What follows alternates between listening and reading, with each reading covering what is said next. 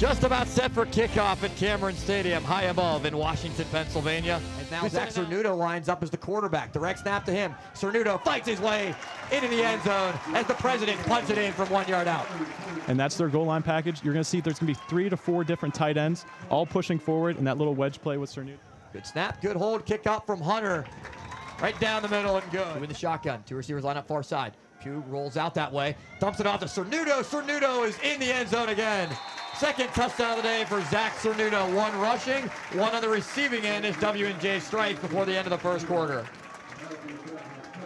Cernudo is that guy they look for in the red zone. And like I said earlier on in the game, they really want to convert in the red zone. And the only way they can do that is by consistently going to Cernudo, who falls underneath a little shovel pass by Pugh, perfectly timed, and then see that push by the offensive line getting his man into the end zone. And Westminster is trying to take away the effect of John Peduzzi, and other playmakers for W&J are stepping up. Extra point is up and good from Ricky Hunter.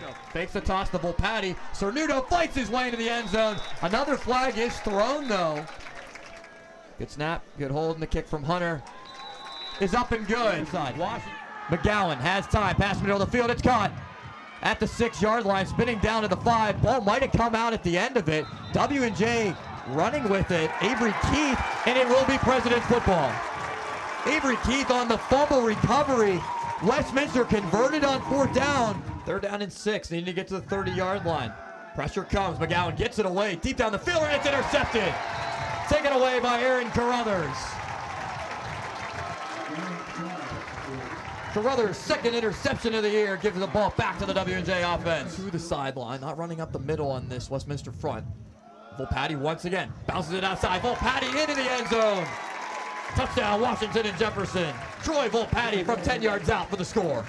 And that's that same exact play you saw just a seconds ago. Troy Volpatti initially trying to get through the middle, noticing nothing's there, bouncing out. And then the offensive lineman and the tight end, Zach Cernudo, Ray Holmes, all making great blocks on the outside to give. Only allowed 10 points all year defensively. Pugh dumps it off. Raymond Holmes will walk into the end zone for the Washington and Jefferson touchdown from seven yards out. Going to attempt the extra point. Kick is up and good. Ending in the game. Patrisik gets the carry again. Up the middle. Lots of running room. Patrisik past the 10, the 5, and into the end zone. 27 yards out. Owen Patrisik scores for Washington and Jefferson. Extra point from Ricky Hunter is up and good. 41.